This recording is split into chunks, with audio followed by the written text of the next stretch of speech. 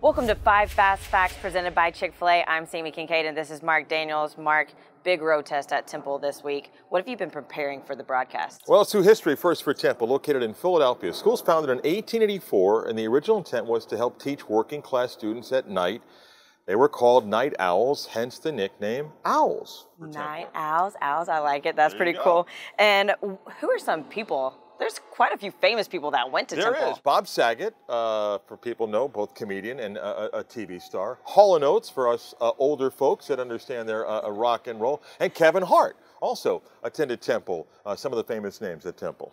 And Temple's been playing football for a long time. 1894, the first year, and Temple played in the first Sugar Bowl game that was held in 1935.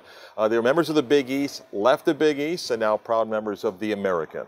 And this offseason, they definitely had, uh, they experienced the coaching carousel, to say the least. Geoff Collins did a really good job at Temple. He replaced Matt Rhule, and Geoff Collins took the job at Georgia Tech.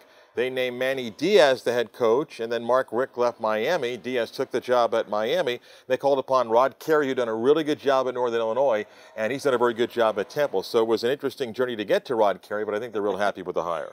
And what do they do on the field? I know there's some Yeah, weapons. Temple's known as a really tough physical football team, and their defense is always really strong. So that's a challenge for UCF. They're going to get pressure. They're going to blitz a lot. It's a team that's going to come after whoever's a quarterback for UCF, whether it's Dillon Gabriel or Darriel Mack in there. So it's one trait always known about them. They got two really big, tall wide receivers on the outside, 6'4", 6'5". They'll challenge UCF corners. So Temple's going to want a tough physical game for UCF. They've got to protect their front, and then defensively, one-on-one matchup's going to be really important outside for UCF in this game. Thank you, Marc, for telling us what you've been preparing, and we'll see you next week whenever we cover Houston.